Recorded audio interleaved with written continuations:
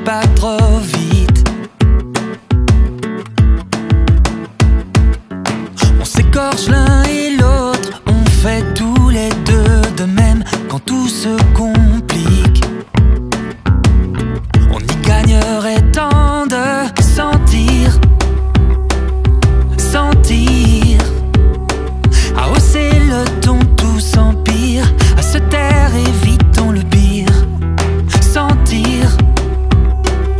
s'endurcit.